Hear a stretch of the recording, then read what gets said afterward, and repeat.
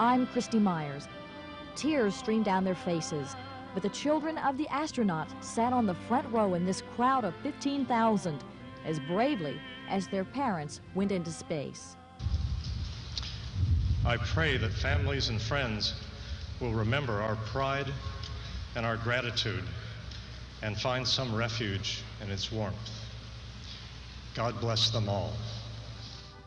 It was a comfort to many here that the president came to show that he too cared.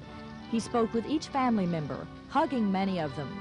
There were tears in the eyes of those who watched. We come together today to mourn the loss of seven brave Americans, to share the grief that we all feel, and perhaps in that sharing to find the strength to bear our sorrow and the courage to look for the seeds of hope. And then the president said what they were all waiting to hear. Every family member I talked to asked specifically that we continue the program, that that is what their departed loved one would want above all else. We will not disappoint them. These people from NASA, the friends and the family, needed to hear those words from the president. For them, the space shuttle program must continue so their loved ones won't have died in vain. My neighbors and my friends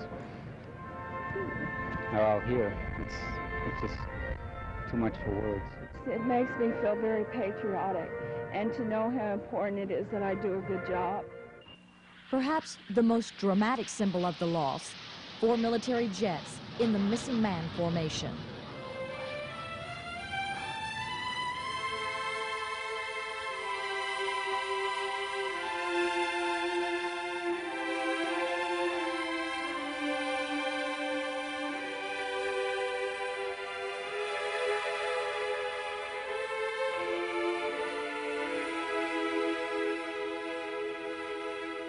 Christy Myers, Channel 2 News, Clear Lake City.